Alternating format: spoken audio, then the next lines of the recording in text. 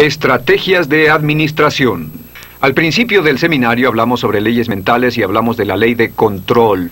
Dijimos que nos sentimos positivos con nosotros mismos si nos sentimos en control de nuestra vida, cómo nos sentimos negativos al grado en que sentimos que no tenemos control o al grado en que estamos controlados por eventos externos. Y no hay ninguna parte donde esto sea más importante como parte de la discusión que en el tema de la administración del tiempo. Charles Hove, el especialista en esta materia, tiene una gran definición de la administración del tiempo. Dice, simplemente es el control de la secuencia de eventos. La mayor parte de su estrés en la vida viene de un sentimiento de que no se tiene control de la secuencia de los eventos. Ahora, todas las personas de éxito practican la administración del tiempo y todas las personas sin éxito no. Punto. Todos tenemos 24 horas al día. Usted tiene 24 horas al día y yo tengo 24 horas al día. Pero el 20% mejor de cada clase de graduados, el 20% mejor de cada industria, el 20% mejor de cada grupo social logra y recibe 80% de las recompensas. No porque tengan más talento, no porque tengan más habilidad, no porque tengan más capacidad o inteligencia o educación, oportunidades u otra cosa, sino porque usan su tiempo mejor. A lo largo de este curso hemos hablado sobre las claves hacia el éxito. Hemos dicho una y otra vez que una de las claves más importantes del éxito es la autodisciplina. La autodisciplina. Y sabemos que ninguno de nosotros tiene suficiente autodisciplina. Pero la autodisciplina tiene una aplicación específica. Significa autodominio. Significa muchas cosas, significa mantener su mente en lo que desea y lejos de lo que no desea, pero también significa autocontrol significa autocontrol en términos de tiempo, en términos de controlar la secuencia de eventos. Si no puede dominar su tiempo, entonces las semillas de grandeza no están dentro de usted. Si no puede dominar su tiempo, entonces no es posible que logre nunca lo que es capaz de lograr en la vida. Y en esta sesión quiero darle siete claves para la administración del tiempo. Ahora tengo programas de administración del tiempo de uno o dos días enteros. Puedo hablar por horas sobre administración del tiempo sin usar una nota. He estudiado innumerables libros, he escuchado todas las cintas, he asistido a cursos. Les daré siete claves. Si siguen estas siete claves hasta que se vuelvan automáticas, pueden duplicar su eficiencia del tiempo en menos de lo que imaginan. Así que sin más charlas, adelante. Pero no olviden, la administración del tiempo es esencial. Todos tenemos el mismo tiempo. La cuestión es ¿Qué hacemos con el tiempo? Y dentro y fuera de eso viene la situación de la vida. El punto inicial de la administración del tiempo, número uno, que he repetido una y otra vez, es metas claras y específicas. Metas claras y específicas. ¿Saben cuántas personas desperdician su tiempo porque no tienen metas claras y específicas? No saben lo que están haciendo. Al menos 80% de todo el desperdicio del tiempo o más es porque las personas no están seguras de lo que se supone que deben hacer. No están seguras de lo que quieren hacer. Y si trabajan para una compañía, no están seguros de lo que la compañía quiere que hagan. Realmente lo primero que hago cuando voy a una compañía, les digo, lo que deben hacer es definir las expectativas de cada persona en cada posición. Y en la mayoría de los casos, no están seguros de cómo hacerlo.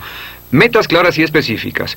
Si trabaja para una compañía, si trabaja para un jefe, lo primero que debe hacer es ir con su jefe y preguntarle a su jefe exactamente qué espera que haga. ¿Cuáles son las cosas más importantes para las que lo contrataron? Metas claras y específicas, definidas en términos de rendimientos, en términos de resultados. ¿Qué resultados desea? Realmente cuando establece sus metas siempre debe preguntarse a sí mismo qué resultados desea. Más que metas, pregúntese qué resultado. Ahora, ¿qué quiero decir con eso?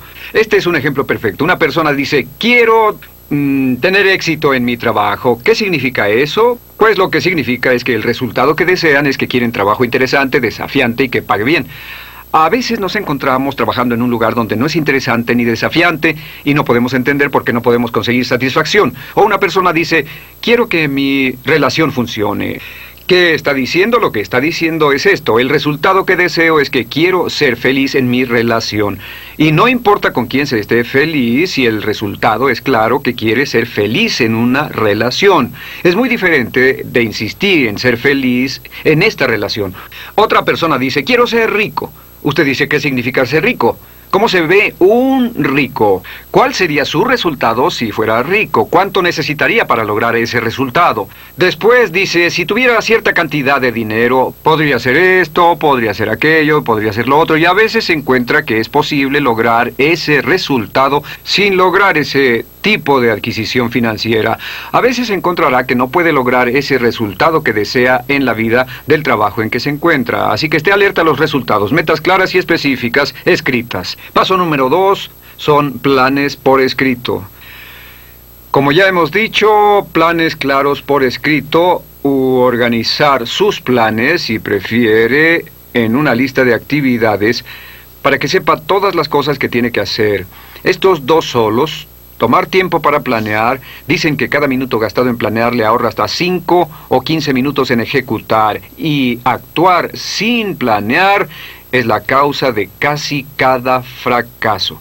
Actuar sin planear es la causa de casi cada fracaso. Así que planes claros y escritos, una lista de actividades con las cuales trabajar, como ya dijimos en sesiones anteriores.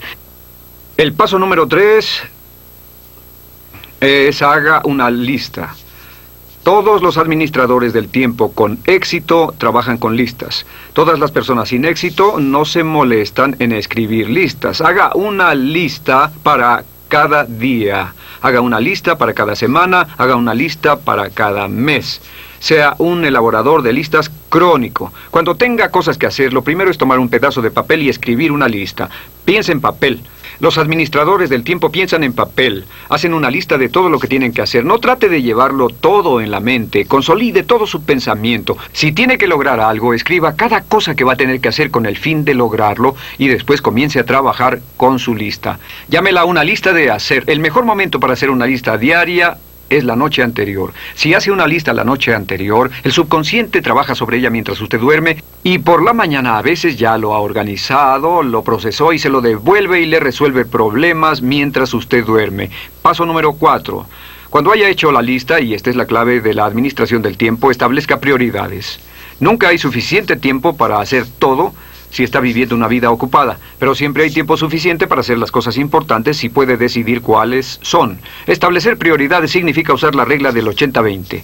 La regla del 80-20 dice que 80% del valor de lo que hace viene del 20% de lo que hace. Si tiene una lista de 10 cosas por hacer, esas dos cosas valdrán todas las demás juntas. Establecer prioridades significa siempre mirar a lo que se llama lo poco vital versus lo mucho trivial. Lo poco vital versus lo mucho trivial. Esa una o dos cosas que puede hacer que forman la real diferencia. Muchos desperdician su tiempo no porque no estén trabajando duro o porque no estén ocupados, sino porque están trabajando sobre lo mucho trivial y no importa cuánto de ello hagan, casi no sirve. Las personas realmente de éxito hacen pocas cosas pero hacen las cosas correctas, hacen las cosas una a la vez y se quedan con ellas hasta que están completas. Así que establezca prioridades. Un sistema muy simple de administración del tiempo es el llamado el sistema de ABCDE. El ABCDE es muy simple. A significa las tareas prioritarias, las número uno que deben hacerse. B son cosas que deben hacerse pero de prioridad secundaria. Y C son tareas no particularmente importantes que podrían hacerse si tuviera suficiente tiempo después de haber hecho las A y las B. Y D es delegar y E es eliminar. Luego lo que hace es que toma y enlista todas las metas A de su lista y después escribe A1, que es la más importante de todas, y después escribe A2, que es la segunda meta A, etc. Y después comienza a trabajar y trabaja con su A1. Y no trabaja con la A2, ni con la B, ni con ninguna otra hasta que la A1 esté completa. Muy simple. Una pregunta clave en la administración del tiempo. Y puede valer una fortuna para usted, ha valido una fortuna para mí. Pregúntese una y otra vez y repítalo y repítalo y repítalo hasta que le resuene en el cerebro. ¿Cuál es el uso más valioso de mi tiempo ahora? ¿Cuál es el uso más valioso de mi tiempo ahora? ¿Cuál es el uso más valioso de mi tiempo ahora? Cada vez antes de comenzar cualquier tarea nueva, pregúntese esto y después disciplínese a hacer solo lo que sea el uso más valioso de su tiempo. Recuerde, Benjamin Franklin tenía una bella frase, decía, haga su vida valiosa y luego no perder el tiempo. En ella es todo de lo que está hecha la vida. Si usted no está trabajando en el uso más valioso de su tiempo, solo cambie la palabra tiempo por vida. y diga cuál es el uso más valioso de mi vida ahora. Y recuerde, si está trabajando en una prioridad de segundo orden, está relativamente hablando desperdiciando su tiempo y desperdiciando su vida. El paso número 5 es concentración del poder. De nuevo una palabra bella de Charles Hobbes. La concentración del poder significa que usted hace primero lo primero y nunca lo segundo. Haga primero lo primero y quédese con eso hasta que esté completo. Lo sorprendente en el estudio de cada hombre o mujer eficaces cuyo estilo de vida se ha examinado, encontramos que siempre están haciendo primero lo primero. Hacen las cosas una a la vez y se quedan con ellas hasta que están completas en un 100%. No hacen muchas, muchas cosas, pero hacen las más importantes. Las hacen bien y las llevan hasta su terminación. Saben que uno de los atributos más valiosos de la vida ejecutiva es la capacidad de llevar una tarea hasta su terminación para que una vez que le ha sido asignada, la persona que se la ha asignado nunca tiene que volver a pensar en ella. La concentración y el manejo sencillo. El manejo sencillo significa, una vez que lo ha tomado, no lo suelte. La mayor parte de nuestro desperdicio del tiempo viene de levantar cosas y volver a dejarlas, levantar cosas y volver a dejarlas, levantar cosas y volver a dejarlas. Así que concéntrese en una cosa en un 100% y quédese con ella hasta terminarla. En mi estimación, la habilidad para concentrarse es una de las habilidades más importantes para el éxito porque ningún éxito es posible a no ser que pueda concentrarse únicamente en su tarea más importante. El paso número 6. El número 6 es acabe con la dilación. Acabe con la dilación. No es el ladrón del tiempo, es el ladrón de la vida. Y la forma en que puede acabar con la dilación es usando la afirmación. Y la afirmación más poderosa de todas es hazlo ahora.